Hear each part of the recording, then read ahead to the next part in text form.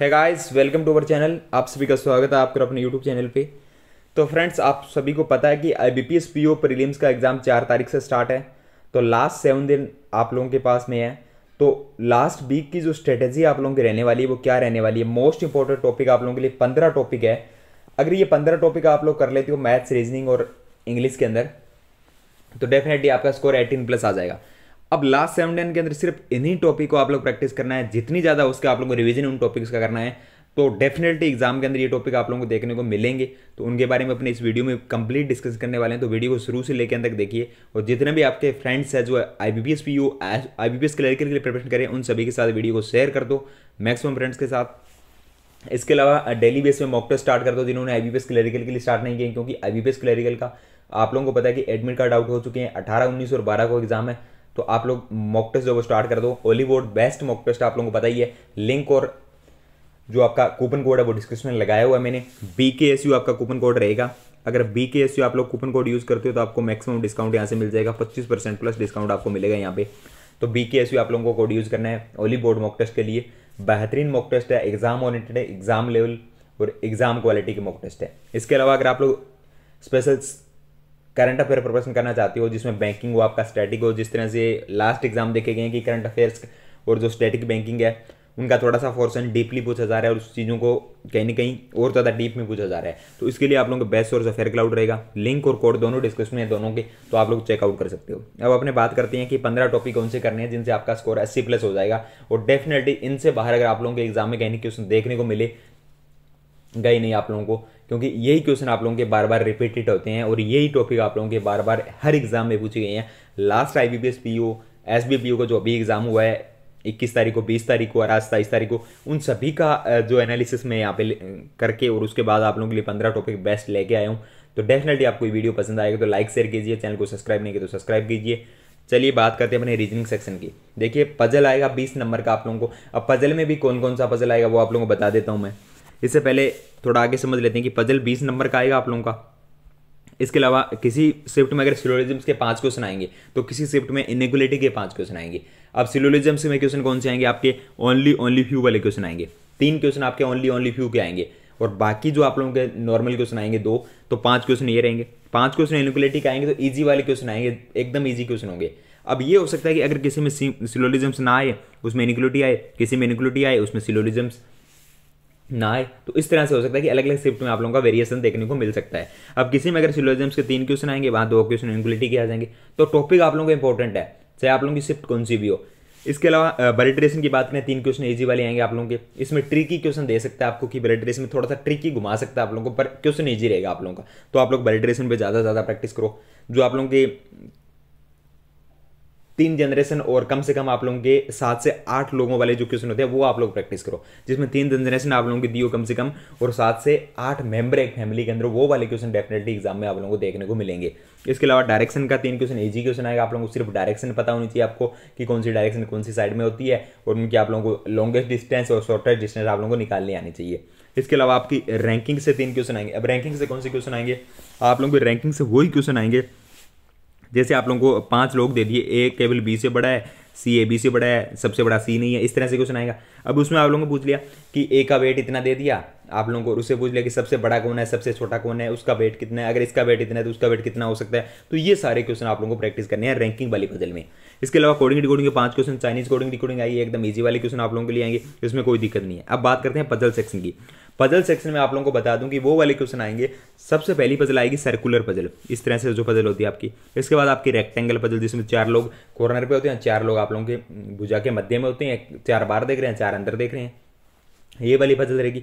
अब ये जो सर्कुलर पजल है, इसमें आप लोगों को छह लोग दे देंगे और ये पूछ लेंगे कि इनके साथ एक वेरिएबल दे देगा कि वो दिल्ली से है, वो पटना से है, वो मुंबई से है। लोग कम दे दिए। एक वेरिएबल और बढ़ा दिया। सभी का फेस अंदर की ओर कर दिया। तो ये चीज़ें आप लोगों की वेरिएशन करता रहता है वो। इसके अलावा आप लोगों का जो मंथ बेस पजल है, जिसमें आप लोगों को दो, जैसे आप लोगों को जनवरी दे दिया, जनवरी की पंद्रह या उनतीस तारीख दे दी, फरवरी की पंद्रह उनतीस तारीख दे दी, इस तरह से पूछ लेगा। इसके अलावा आप लोगों को सिर्फ़ मंथ आठ मंथ दे देगा, जनवरी, फरवरी, मार्च, अप्रैल, इससे क्वेश्चन पूछ लेगा। इसके अलावा आपको ईयर बेस पजल दे देगा कि उस ईयर में उनके जन्म हुए थे 2021 के अनुसार उनकी एज कितनी हो रही है, ये वाली पजल आपकी एग्ज़ाम में आ जाएगी। इसके अलावा आपकी जो पजल रहेगी शेड्यूल पजल जिसमें आप लोगों की university A university B university C दे दी। इसमें एक में कम से कम कम से कम दो होने चाहिए, तीन से ज़्यादा नहीं होने चाहिए, और छः लोग दे दी, वो वाली पजल आप लोगों की आ जाएगी। आपकी एम डी वाली पजल आ जाएगी, जिसमें आप लोगों के एम डी सी यू दे रखे होंगे कंपनी के, और सबसे वरिष्ठ कौन है, सबसे कनिष्ठ कौन है, इस तरह से आप लोगों के पूछ लिया तो ये पजल के कुछ फिक्स टॉपिक है, उनसे ही आपकी पजल और सीटिंग अरेंजमेंट के क्वेश्चन देखने को मिलेंगे एग्ज़ाम में। तो ये आप लोगों के बीस क्वेश्चन आएँगे एग्ज़ाम में। तो इनको आप लोग प्रैक्टिस करो जितनी ज़्यादा हो सके। और प्रीलिम्स वाली पजल्स आप लोगों को ओली बोर्ड पे फ्री में पीडीएफ मिलती रहती है तो उनका लिंक भी डिस्क्रिप्शन में प्रोवाइड करवा दूँगा, मैं आप लोग जाके उसको चेकआउट कर लेना। तो ये पजल आपकी रहेगी। अब एग्ज़ाम ओरिएंटेड बात करते हैं कि एग्ज़ाम के अंदर अगर आप लोग जा रहे हो, जैसे आपका प्रीलिम्स का एग्ज़ाम है तो अब आप किस तरह से रीजनिंग सेक्शन को अटैम्प्ट करो?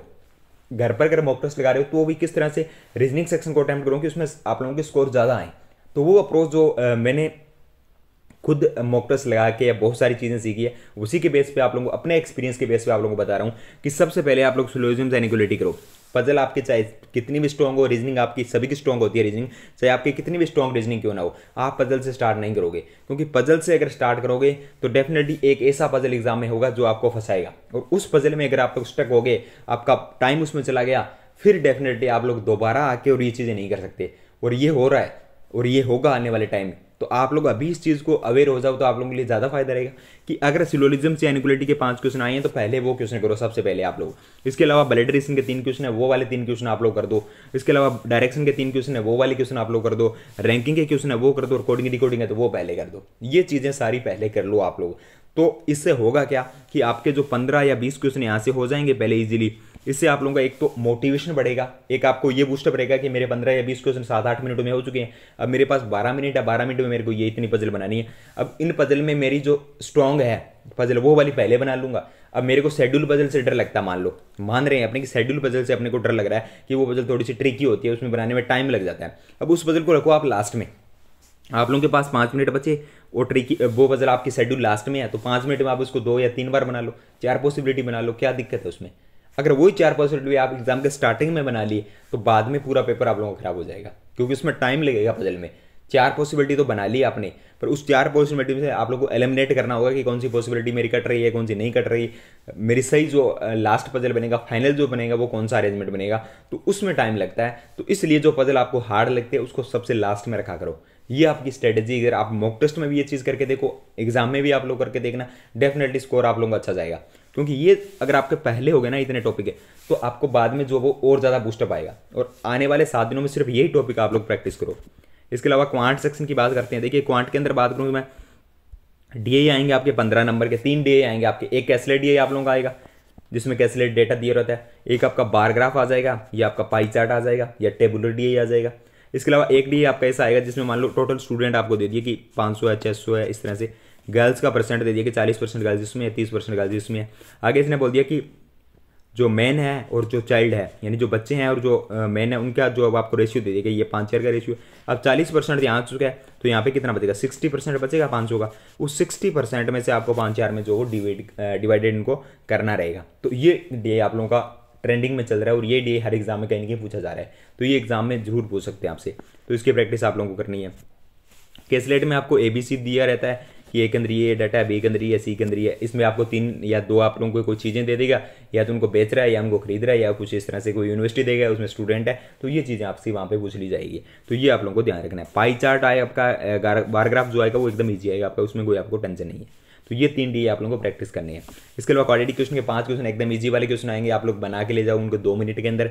इसके अलावा नंबर सीरीज़ के क्वेश्चन ईजी आएँगे आप लोगों के डेफिनेटली अगर मिसिंग नंबर सीरीज़ आता है तो चार क्वेश्चन ईजी आएँगे, एक क्वेश्चन आपका ट्रिकी रहेगा।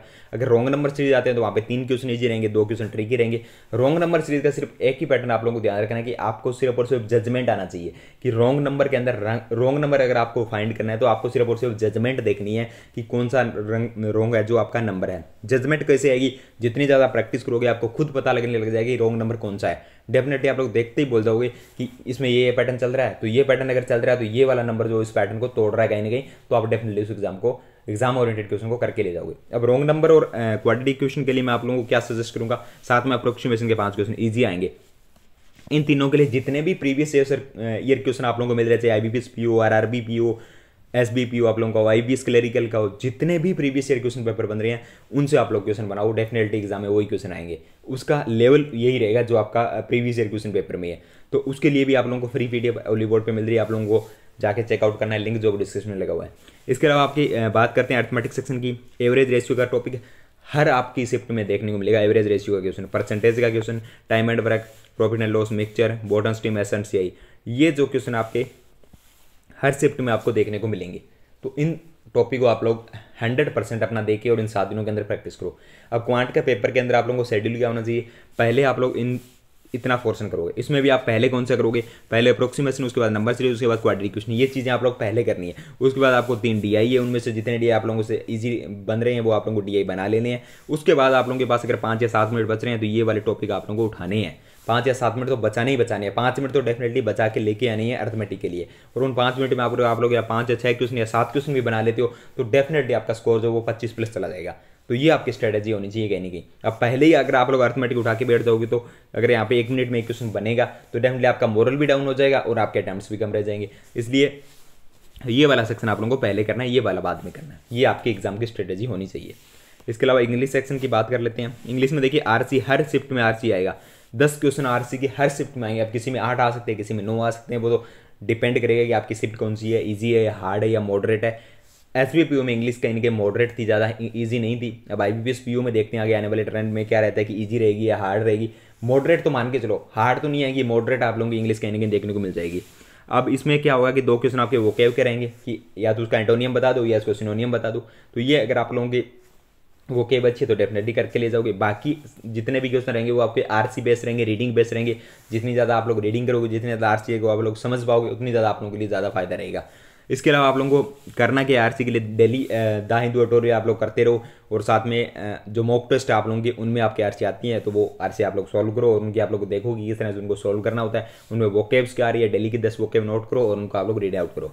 इसके अलावा क्लोज टेस्ट की बात में पाँच क्वेश्चन आएँगे। अगर इनमें भी वोकेब डाल दी जाती है ईजी वाली। तो डेफिनेटली आप पाँच क्वेश्चन यहाँ से सिक्योर कर ही लोगे, पाँच नंबर तो। अगर वोकेब थोड़ी सी मॉडरेट और हाई लेवल की डाल दी है तो दो या तीन नंबर तीन नंबर तो यहाँ आप, यहाँ से आप लोग निकाल ही लोगे।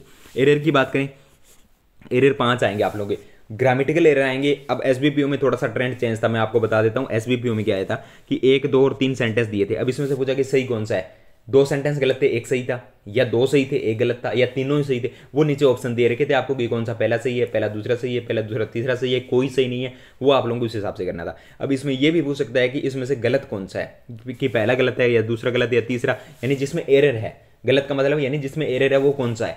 दो सही दे देगा, एक गल, एक जिसमें एरर दे देगा तो वो पूछ लेगा आप लोगों को। ऐसे भी कर सकता है, बाकी आपसे डायरेक्टली एक सेंटेंस देगा एबीसीडी उसमें पार्ट बना देगा और उससे पूछ लेगा कि कौन से पार्ट में जो आपकी एरर वो है। इस तरह से क्वेश्चन भी आप लोगों से पूछ सकता है। इसके अलावा वर्ड स्वैपिंग के क्वेश्चन पाँच क्वेश्चन आएँगे। उसमें से आप लोगों के पाँच ऑप्शन रहेंगे। इसमें से आप लोगों को बताना कि कौन सा वर्ड किसे स्वैप कर सकता है। यानी वर्ड का रीअरेंज करना होता है आपको कि फ़र्स्ट की जगह आपका कौन सा वर्ड आएगा या सेकंड में कौन सा वर्ड आएगा, वर्ड आपको दिए रहेंगे, उन्हीं वर्ड्स को आप लोगों को घुमा के इधर उधर करके और उसमें लिखना होता है। ऐसा ही एक पैटर्न आप लोगों का आता है जो आप लोगों का रीरेंज वाला होता है रीरेंजमेंट वाला जो टॉपिक होता है आपका, उसमें आप लोगों को ए बी सी इस तरह से जो आता है ना आपका तो उसमें आप लोगों को पूछ जाएगा कि इनका सही सिक्वेंस कौन सा है। तो वो आप लोगों के लिए ईजी होता है, क्योंकि वो ऑप्शन से एलिमिनेट होता है। और ऑप्शन अगर आप लोगों को खेलने आता है ऑप्शन से तो डेफिनेटली आप लोग उस जो पाँच क्वेश्चन वाला आपका रीरेंज रहेगा, उसको आप लोग कर लोगे। इसके अलावा रीअरेंजमेंट का जो नॉर्मल वाला टॉपिक है या जो आपका पहले से चला रहा है, जिसमें आप लोगों को ए बी सी डी दिया रहता है कि फ़र्स्ट में आएगा बी में सी इस तरह से जो दिया रहता है, वो पाँच क्वेश्चन आपके डेफिनेटली हर एग्ज़ाम में पूछने को, देखने को मिल सकते हैं अपने को। तो ये इंग्लिश का ओवरऑल रहेगा। इंग्लिश के लिए आपको सिर्फ़ सिर्फ़ रीडिंग और वोकेव और ग्रामर पे ही वर्क करना है, इससे बाहर कुछ नहीं करना।